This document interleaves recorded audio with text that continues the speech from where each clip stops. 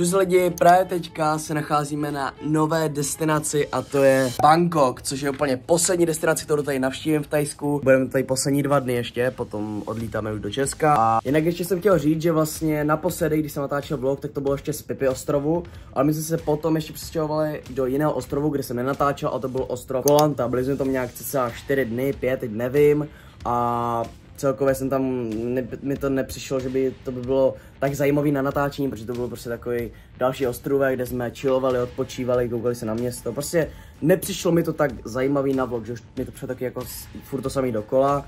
Takže jsem si řekl, že tam nebudu natáčet, aspoň jsem si na, na chvíli odpočinu a počkal jsem se tady na tohle uh, město Bangkoku. Je to takový velký rozdíl jsem před, protože předtím jsme byli na takových ostrovcích, že jo, furt, a teďka přijít z ostrovu na takový velký kámo město, kde jsou velký budovy jak svině, tady prostě ultra hell, tak je to takový mega rozdíl. Včera jsme vlastně přijeli z Krabi do Bangkoku, včera jsme tady ještě tak lehce proskoumali, koukali jsme se, jak to tady vypadá, bylo to tam masakr, prostě byl tam hluk mega, byly tam všude hudby, bary, toto jídla, všude tržnice, takže jako je to fakt tady mega úplně jiný svět, jako proti třeba v Česku, to jako je nesrovnatelný absolutně. A tak dneska mám plán tady celý proskoumat a vezmu vás samozřejmě s sebou, protože musím se tady s vám podílet, tady ty zážitky, prostě co tady zažívám teďka, takže tak, let's go. Jdu vám teďka ukázat, jak vypadají v Bangkoku pokoje. Jsme tady zarezervovali Uh, fakt jako brutální velký hotel, jmenuje se to Prince Palace Hotel a chci vám tady ukázat, jak vypadá pokoj pro dva, jo, tady.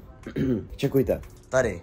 První pokoj je koupelna, další pokoj, obývák, další postele a potom tady ještě další koupelna.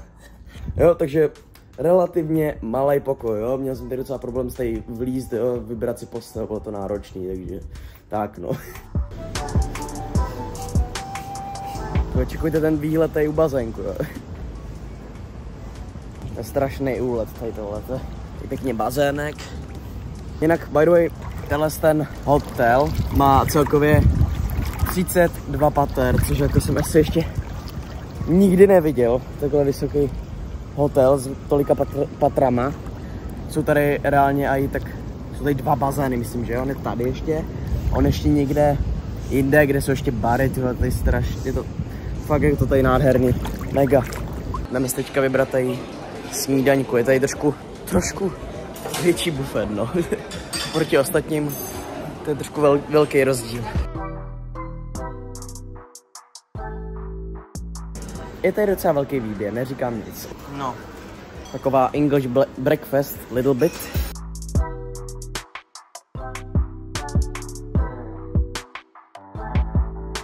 Už se nacházíme venku, v Bangkoku, můžete vidět a jdeme to tady proskoumat.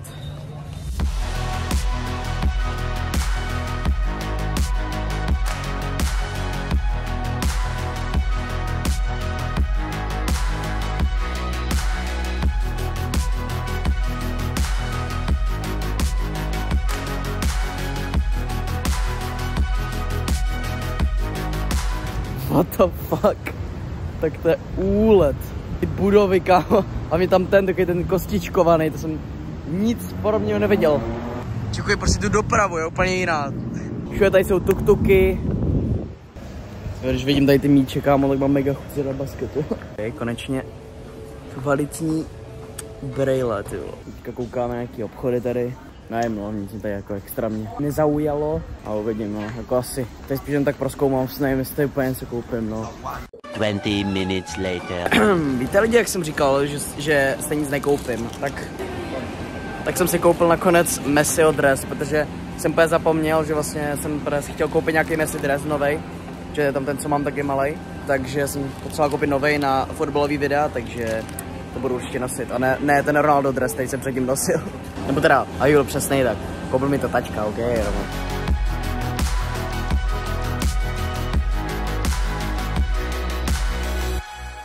Tohle je Chinatown, neboli čínská čtvrť.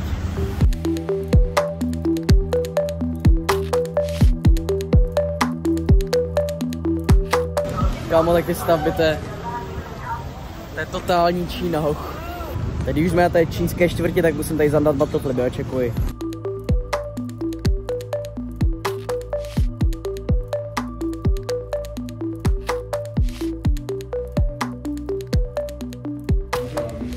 Spokojenost. Reálně ještě nikdy neměl, takový hladký to mám. Jednou ukaž se. Taky ostří. Baskat. Baskat, skoro. Ale taky dobrý, jako. Lepší než, asi lepší, že to. Jako za kolik? 300 bátů? Za 189 korun takový, takový haircut. Proč ne? Pár tržní staré Bangkoku.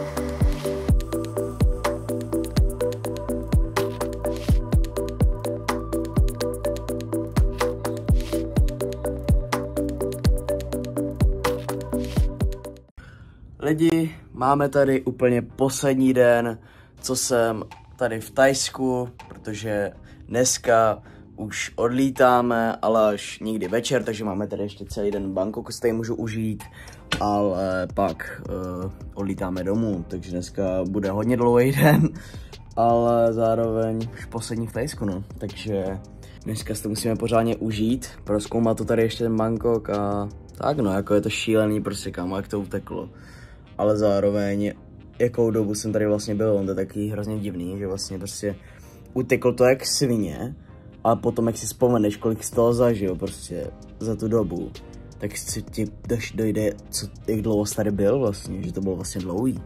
Je to taky divný to takhle říkat, ale je to tak, jakoby. Prostě uteklo to rychle a potom jak si vzpomeneš na to, co se tady událo, co se tady všechno stalo, tak prostě ti dojde, jak to bylo dlouhý vlastně, že dva týdny, že jo což takhle dlouho dovolenou jsem skoro nikdy neměl, max jenom jedno, když jsem byl v Chorvatsku a tam jsme celou dobu čilovali, tady jsme furt jenom cestovali a poznávali Tajsko, že jo, takže, takže tak jo. A tak no, takže let's go, jdem si užít poslední den. Jdeme to tady proskoumat, kouknout se nějaký zajímavý stavby, co tady najdeme v Bangkoku a, a tak, prostě uvidíme.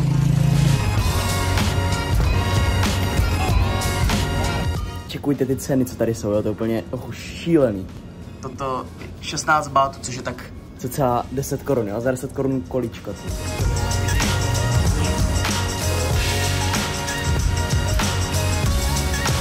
Dámy a pánové, tohle je stadion pro Muay Thai akce a je to tady od roku 1945, což je docela úlet, kámo.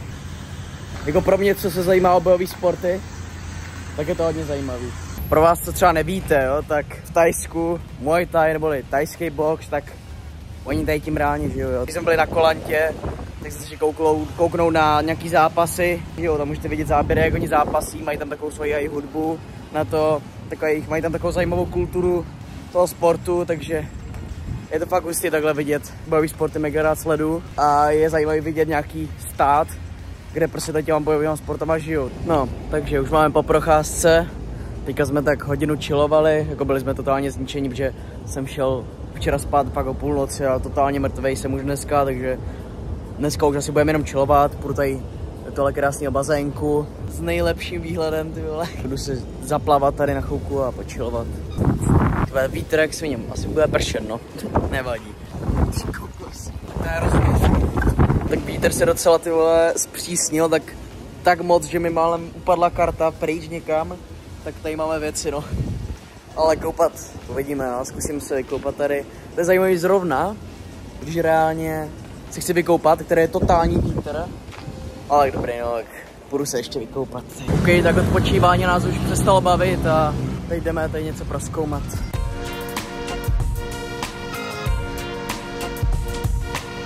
Čekuj, ty stavby jsou úplně brutální, kámo, to je nádherný.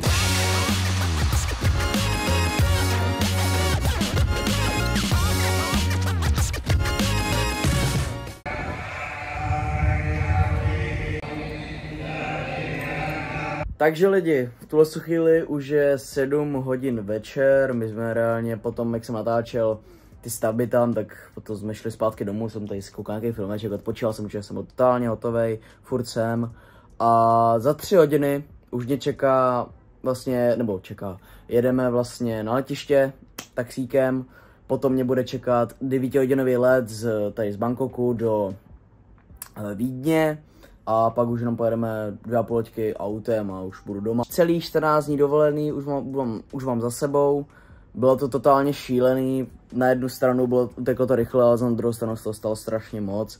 Bavilo mě na tele dovče to, že jsme po těch 14 dní prostě furt něco proskoumávali, nějaký jiný místa, ostrovy, města, jo, to bylo, bylo to šílený. První jsme začali Aonangem eh, v Krabi, tam to bylo skvělé, v tom, že to bylo pěkné ubytování, Aonang byl top, potom jsme byli na Pipi, to bylo hodně zajímavé v tom, že to bylo poprvé, jsem byl na nějakém takovým malinkém ostrovku, kde prostě nic nebylo, jo, prostě tam máš jenom prostě pláž, máš tam ubytování, z prostě máš domeček tam z bambusu, tyvo, též i Kolanta, to byla hodně dobrá, tam jsem to tolik nenatáčel, ale jakože taky tam bylo pěkné ubytování s bazénem, jezdili jsme tam hodně, tyjo, na skútru taky, jsme tam jezdili, jsme využili skútr, to bylo zajímavý, dokonce když jsem jednou zkusil, zkusil jezdit na skútru, tak tak jsem to chtěl zkusit, že s tím jezdit lehce. A jak nejsem zvyklý jezdit na skútru a jsem zvyklý max jezdit na kole, tak prostě jsem spadl.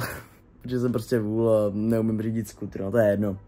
Podívali jsme se na, jednu, na jeden gala večer, Muay Thai, koukali jsme se na zápas, to bylo hodně zajímavé tam vidět ty vole, sedmiletý děti, jak tam perou, ty vole, to jsem, ochu, to jsem absolutně nechápal, ty vole, jak tam prostě normálně neměl ani helmu, žádný chrániče, vole. Zkusili jsme se i tréninky, že jo, a potom jsme přijeli, že jo, do Bangkoku sem. Jako za mě Bangkok asi se mi líbil úplně nejvíc ze všech. Je to, je, on to nejde porovnat, jo, je to zase úplně něco jiného, ale bavilo mě tady tohle to město v tom, že to je prostě jak tady jsou velké budovy. Ale jako všechno mě bavilo, ale prostě tak jako ten Bangkok asi mi přišel nejvíc takový zajímavý, že nic podobného jsem fakt nikdy neviděl, kámo, takhle na živo, takže už plně jsem asi trošku se obkecal. Uh, doufám, že se vám vlogy líbily. Budu velice rád za like, sledujte mě na Instagramu, dejte mi klidně odběr a mějte se hezky. Čau.